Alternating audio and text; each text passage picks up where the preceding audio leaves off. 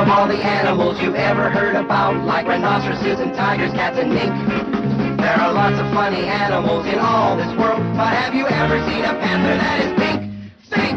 A panther that is positively pink. Well, here he is, the Pink Panther, the Pink Panther. Everybody loves a panther that's pink.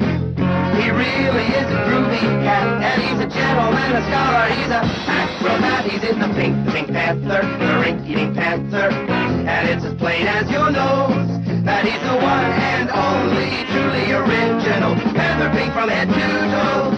Yeah, he's the one and only truly original Panther Pink Panther from head to El show de la Pantera Rosa.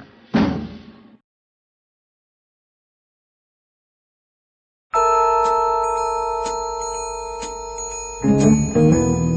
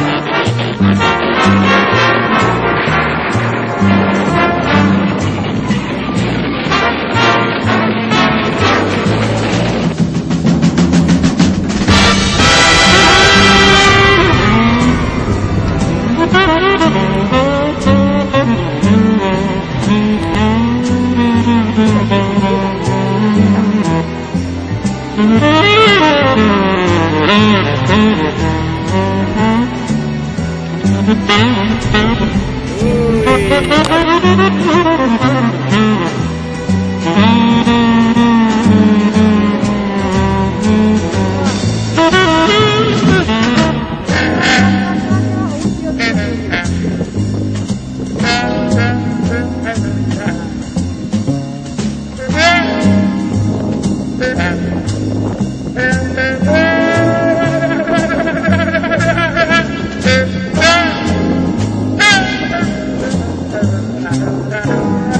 you.